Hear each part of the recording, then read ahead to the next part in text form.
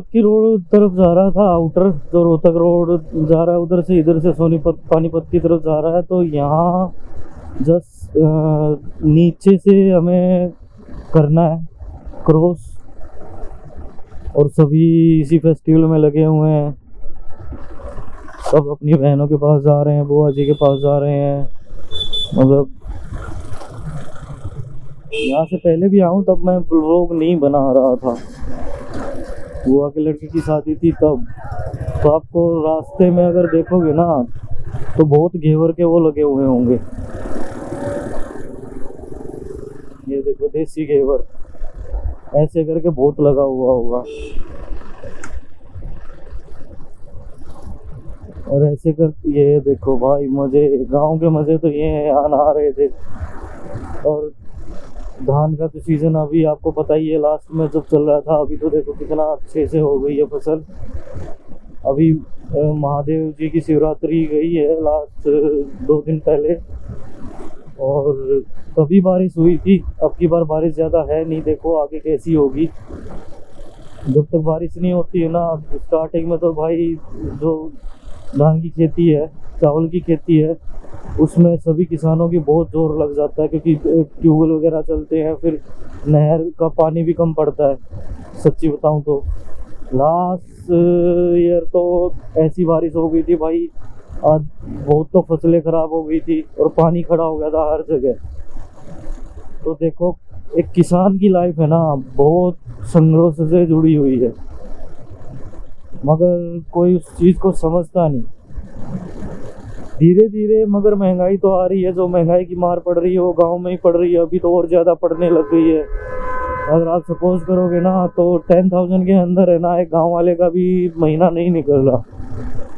और कहीं कहीं तो ऐसा है कि टेन थाउज़ेंड तक ही वो कमा पाता है तो कैसे अपना लाइफ का गुजारा करे? वो तो पूरी लाइफ कमाने में ही निकल जाती है भाई, और कुछ नहीं कर पाते। मेरे को ही देख लो। मैंने अच्छे खासे कमाए, मगर घर वालों ने जो पुंगी बजाई है ना मेरी, वो सांप की भी नहीं बजी होगी। सांप के ऊपर भी पुंगी नहीं इतनी बजी होगी जितनी मेरी बजी है। अपनी धनों को देख लो भाई, कितनी पुरानी है। सेकंड हैंड ली थी और इसी को मैं चला रहा हूँ अभी तक। जस्ट बिकॉज़ क्यों?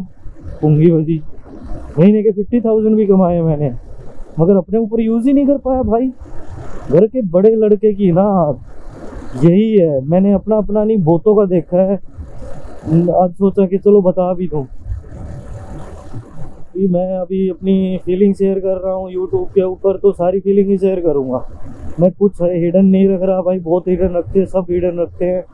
मगर ज़्यादा क्ले ये चेचे पेपे भी नहीं कर रहा, मगर मैं एक नेचुरली प्रैक्टिकल बातों को ही लेके चलूँगा। ये रियलिटी है। अगर आसपास के आप भी आसपास देखोगे, कहीं भी देखोगे ना, घर का बड़ा लड़का वो होता है जो सारी ज़िंदगी अपनी कमाई सारा सब कुछ अपने परिवार में लगा देता और लास्ट में भाई देखो फैमिली के पेरेंट्स देखो, सब बुरा भला उसी को बोलते हैं। तूने किया ही क्या है? तो उस टाइम इतना बुरा लगता है क्योंकि वो फ़ेज़ मेरे अंदर से जा चुका है और उससे भी गंदे गंदे फ़ेज़ जा चुके हैं। तो भाई लिटरली समझदारी से जियो। घर के बड़े लड़के या जो भी समझदार है अकेला ये नहीं कि अकेला बड़े लड़के पे मैंने टैग मार लगा दिया। बहुत जगह ऐसा भी है मगर मैंने फाइव टू टेन परसेंट मुश्किल से देखा है कि छोटे लड़ छोटा लड़का परेशान हुआ या बी, बीच वाला परेशान हुआ तभी होता है जब बड़े वाला रिस्पॉन्सिबल नहीं होता या कुछ हेल्थ प्रॉब्लम होती है उसको। अदरवाइज़ तो बड़े वाला बहुत झेलता है।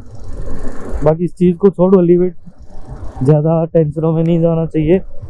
और सच्ची बताऊँ लाइफ के इस दौर में मैं थर्टी फोर का हो चुका हूँ। और सच्ची बताऊँ भाई, घूमना चाहिए। मैंने ब्लॉगिंग स्टार्ट की है ना। ब्लॉगिंग स्टार्ट करने के बाद थोड़ी बहुत मेरी डिप्रेशन इंजाइटी इन चीज़ों से इजाफा सा मिल रहा है मेरे को, सच्ची बताऊँ। जितना घूम रहा हूँ, मैं ना, मैंने सबसे लंबी राइड अभी बाइक के ऊपर की है। खाटू शाम की, जो अभी लास्ट कुछ दिन पहले की थी। भाई, कितना रिलैक्स फील हुआ है मैं बता नहीं सकता। और दूसरा लाइफ में कभी मैं गया ही नहीं हूँ। मैं हर ईयर सोचता हूँ, अभी बाबा भोलेनाथ का गया है। शिवरात्रि के मैं कावड़ लेके आऊँगा, मैं जल लेके आऊँगा, हर बार सोचता हूँ, भाई, अब की बार तो ये, अब की बार तो वो, मगर नहीं कर पा रहा। और लाइफ के उस दौर में आ गए अगर अब नहीं तो कभी नहीं। तो धीरे धीरे देखो, काम तो करना पड़ेगा, काम तो बिल्कुल करना पड़ेगा। लोग भी स्टार्ट किया है, इसलिए स्टार्ट किया है कि चलो यहाँ से अच्छा सा इनकम भी स्टार्ट हो जाए। तब जाके हम छोड़ सकेंगे, बाकी की जो बची लाइफ है, उसको जी पाएँगे, घूम पाएँगे।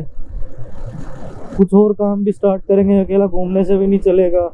मगर लाइफ में ना, मैं चाहता हूँ छः महीने में से यार कम से कम 25-30 दिन तो ऐसे निकले जिसको मैं खुद जी पाऊँ। अब तक तो क्या है, कोई ना कोई बचपन था तो भाई पढ़ना है पढ़ना है पढ़ना है, भाई पैसे नहीं है, पैसे नहीं है, घर में ये है, वो है। और भाई थोड़ा सा और बड़ा हुआ तो भाई सब सारी रिस्पॉन्सिबिलिटी तेरे को संभालनी है, ये करना है, वो करना है। ये है, तेरे पास का ये नहीं है, वो नहीं है। मगर मैं नाइन्थ क्लास में भी है ना भाई, दिहाड़ी करने गया हूँ। मैंने वेटर बने का काम किया है। जो कोई इंसान सोच भी नहीं सकता, नॉर्मल इंसान, वो वो काम किए हैं। पापा जी मिस्त्री थे राज मिस्त्री उनके साथ गया हूँ। अकेला मैंने इतना झेला है लाइफ में। झेला क्या भाई? झेला वेला कुछ नहीं है। अगर काम करना ना, कोई शर्म नहीं है, कोई कुछ नहीं है। क्योंकि ज़मीन से उठ के मैं ज़्यादा ऊपर तो आया नहीं भाई, वो मगर आया ही नहीं वो एक तरीके से। आपको पता ही है धनो देखो। पुरानी है, मैं इसका भी पूरा काम नहीं करवा पाता और चीज़ें भी नहीं करवा पाता। कमाई है मैंने। कमाया है, मगर सब घर पे लगा दिया। और उसका कोई रिज़ल्ट मेरे को मिला नहीं, ना तो रिलेशन के घर वालों के रिलेशन मेरे लिए अच्छे हुए हैं या कुछ भी हुआ है।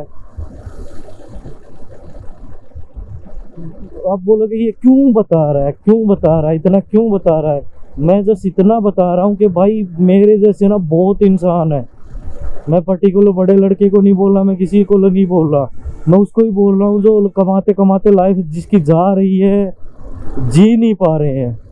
भाई लाइफ में से कुछ थोड़ा बहुत पल निकालो, दो चार दिन निकालो, कहीं घूम के आओ, भोलेनाथ के अच्छे मंदिरों में जाओ, कहीं भी जाओ, आसपास घूम के आओ, कहीं भी घूम के आओ। जो ज़्यादा डिप्रेशन में हो जाते हैं या किसान हो जाते कोई भी ज़्यादा डिप्रेशन में ना भाई घूम के आओ। आप बुरा सोचने से अच्छा घूमने निकल जाओ स्विच ऑफ़ कर दो फ़ोन को, कुछ भी कर दो और निकल जाओ।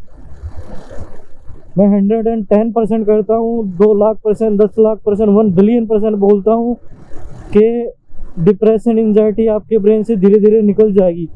जब लाइफ के उस दौर में आ जाते हैं ना, जो सोचते हैं, भाई, कुछ गलत कर दे। गलत मत करो। भाई, जब गलत ही सोच रहे हो तो भाई, थोड़ा जी लो। जीना कैसे? घर पे रह के या उसी प्रॉब्लम में रह के तो नहीं जी पाओगे? निकल जाओ। भाई, साधु संत हैं, कोई अपनी उससे हुआ है, कोई इच्छा से हुआ है, किसी का मन हो गया, कैसे भी करके हुए हैं, मगर हुए हैं ना। कोई परेशान होके भी बस सब कुछ छोड़ दिया। डिपेंड करता है आपके ऊपर, आप क्या चाह रहे हो, आप कैसे जीना चाहते हो। भाई, मैं तो अब लाइफ के इतने मतलब आधे से ज़्यादा ज़िंदगी जा चुकी है, अब इस चीज़ को समझा। अगर आप मेरे से छोटे हो तो देखो लाइफ को प्योरिटी दो।